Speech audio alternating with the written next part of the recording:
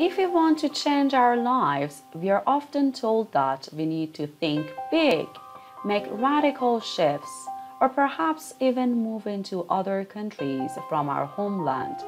But what if we could achieve major transformations just through slight changes to our daily routines? We are naturally willing to exaggerate the value of single actions and minimize the power of making small improvements subsequently over a longer time frame. Bear in mind that a real change comes from the compound effects of hundreds of small decisions or tiny habits that over time expand to produce remarkable results. Changing the life size, performances, and identities. Hey friends, welcome to your channel. Atomic Habits by James Clear is a bestseller book that has truly changed many people's lives throughout the world. So I decided to tell you about the most important parts of it, which are all about the power and the process of forming good habits and quitting the bad ones.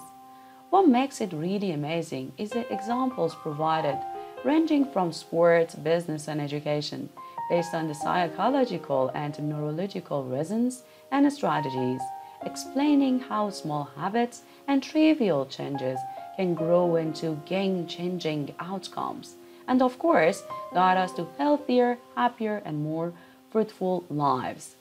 There are fundamentally four key points from this book. Firstly, we'll talk about the influence of one percentage change over time. Secondly, why we should abandon goals and concentrate on systems instead. And thirdly, why is it all about personalities rather than outcomes? And finally, we'll look at what the author calls the four fundamental laws of behavior change. So, firstly, how 1% persons really matter? Well, it's all about the power of compounding. Compounding can be surprisingly powerful both for good and for bad habits if we leave it to grow over a period of time. If we can get 1% better every day for a year, we'll come out 37 times better by the time we are done. But if we got 1% worse each day for one year, we'll go down nearly to zero. As the author says, habits are the compound interest of self improvement. Habits don't seem to make a big deal on a given day, but the influence over months or years can be utterly tremendous. We don't often consider these small changes. Can you guess why? Just because it takes so long to see the result. This is something that I personally really struggle with and I believe everyone can relate to it easily. The moment you decide to do exercise, you're impatient about those beautiful six packs. But why are we so impatient? We tend to explore immediate pleasure. That is actually really difficult to focus on tasks that have long term advantages. Simultaneously, the slow pace of transformation also means that it's really simple to give bad habits the chance to settle in, like eating poorly and not exercising. And when we repeat these 1% errors day after day, they'll grow into bigger problems. As the writer beautifully says in the book, time magnifies the margin between success and failure. It will multiply whatever you feed it. Good habits make time your ally and bad habits make time your enemy. One of the other important features from this book, what is called the plateau of latent potential, which sounds all very intricate, meaning that habits often don't seem to make a difference until we pass a critical threshold. We expect improvements to be linear, but the principal aspect of any essential compounding process is that the outcomes are delayed. This leads to a fundamental value of frustration, where we don't feel like we are making improvement, as the results don't follow the linear path that we suppose. And so we just give up because we are not getting the outcomes we desired. But What really matters is that it does take time to form a habit, to let the compound interest of personal growth to take hold and provide us with marvelous outcomes over time. Key point number two from the book is to forget goals and focus on systems instead. The author identifies four main obstacles with goal setting. Firstly, winners and losers have the same aims. Every athlete wants the gold medal. Every job applicant wants the job. And so it can't be the goal that really differentiates people from one another. Secondly, accomplishing a goal is only a temporary change. Sure, I might be able to convince myself to clean my room, but if I continue my bad habits and systems that directed to the room getting untidy in the first place, I'm just gonna be left with a dirty room again in a few days. In the same way, when we reach a goal, we only improve our life momentarily. Instead, what we really need to change is the system that produces those results in the first place. Thirdly, it can be argued that goals limit our joy. There is a direct theory behind any goals, and that's once I achieve my goal, then I'll be happy. And so we go on continuously putting off happiness until the next breakthrough. Finally, goals are in conflict with long term development. There's another beautifully said quote The purpose of setting goals is to win the game. The purpose of building systems is to continue playing the game. So, which one do you think will be more beneficial? As for me, I decided to make this YouTube channel and I intentionally don't have any goals for it because what's in there? I might say to myself, my goal is to hit a thousand subscribers by the next month or whatever like that. But I'm not trying to put all my efforts to reach it. Instead, what I try is to learn how to just love the process of reading, researching, learning, and sharing with you guys. And meanwhile, making great friends with whom I have a lot in common. Amazing, isn't it? What I'm trying to do is playing the game as I don't want to try to win the game. It is this idea between the system and the goal. As a sports player, you want to win the game, but just looking on the scoreboard will not bring you any scores and does not help you in any way at all. So, in fact, if you just do not pay attention to the score, the entire time and just concentrate on a better process or play in a better way or a smarter strategy, then you reasonably would come out with the best score. I think that probably applies to a lot of tracking, calculating, and measuring. So now that we've understood why systems are so important, it is time to see what the key point number three is. The majority of us work from outcome to identity rather than identity to outcome. But as the author says, the ultimate form of intrinsic motivation is when a habit becomes part of your identity. When we solve problems in terms of outcomes and results, we only solve them momentarily. But to solve problems in the longer term, at the system levels, we need to change our identity. This point absolutely resonates with me when I read the book. I've been struggling personally with two things. Number one, eating healthily. Number two, exercising for the last several months. And before, I used to have an outcome based way of looking at this.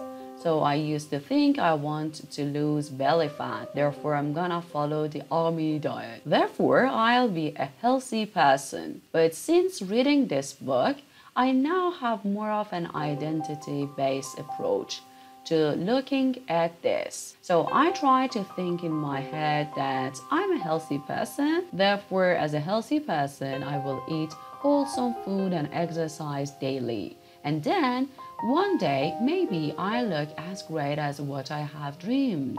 We'll see how it goes. And finally, point number four. At this point, we are thinking, okay, cool, I'm convinced about forming useful habits and the idea that is all about small improvements over a very long time. And that is all about systems rather than goals. But how do we actually form those habits in the first place?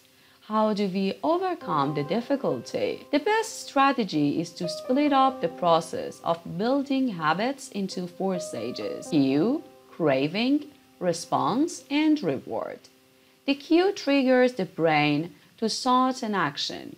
The craving presents the motivational power. The response is the action or habit that we perform and the reward is the end goal. And it's these four stages cue, craving, response, and reward, which leads to what the author calls the four laws of behavior change. The first law is to make it obvious and it relates to designing our environment around our cues. I implemented this to my life just the other day, actually. So I'm not that interested in eating fruits, to many people's surprise, but as I know there are many essential nutrients in them that I really love to build up a new habit of eating them regularly. So I have started buying fruits, but these beneficial things were doomed to the bin as I forgot to eat them. So I tried to make them visible and I put them on the first refrigerator shelf that is so visible and here the magic comes and I start eating them more often. So just a little change that has now built that habit almost immediately. The principle of environment design in general is that you want to put fewer steps between you and the good behaviors and more steps between you and the bad ones. And imagine the compound impact of living in an environment that exposes you to the cues of the positive habits and reduces the cues of your negative ones. It is kind of like you're just gently being nudged in the right direction each day. The second law is to make it attractive which relates to the craving aspect of the habit loop and tries to benefit from what we know about dopamine. As humans, we are all motivated by the expectation of reward. So, making habits attractive will help us stick to them. Well, to make the habit of walking on a daily basis, I tried to make a selection of the playlist that I get high with. You cannot believe that one very simple strategy has made a huge difference as I can't wait for the next day of working. The third law is to make it easy, and the aim is to reduce the friction and to prepare our environment for the habits that we'd like to form. I've experienced this so many times in my own life.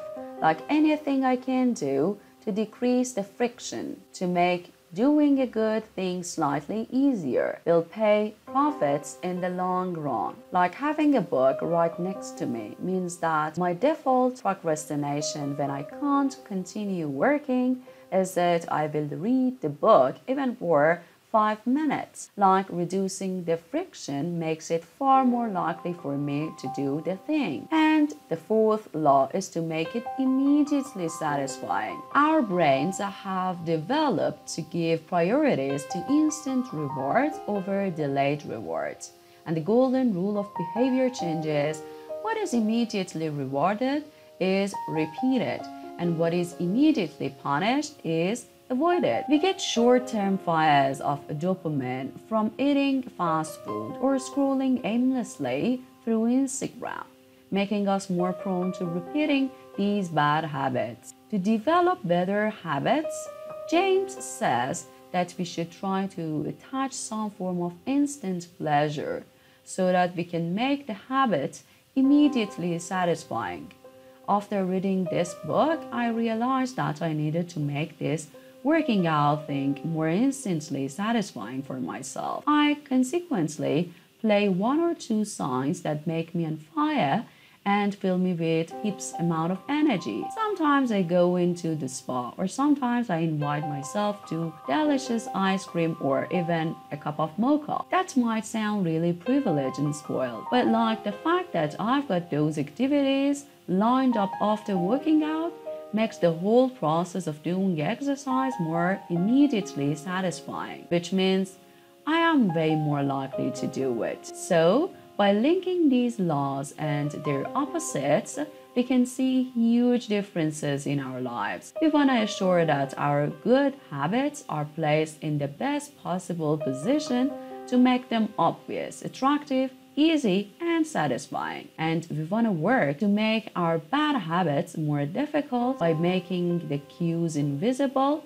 the action unattractive, and hard, and the reward unsatisfying in an ideal world. We seldom stop to think about our own habits or plan for long term change when we start a new habit, like working out. The prominent influence of atomic habits is the stress that it places on systems rather than goals, identity rather than outcomes, and small habits rather than extreme changes. There isn't a definite answer to how long it takes to build a habit because habits are not a finish line to cross, but a lifestyle to live. The key part to remember is that small habits compound. Atomic habits may be individually tiny, but collectively and given time, they could hold striking power to bring extraordinary changes to our lives. Thank you guys for watching. I hope you have enjoyed the summary of this book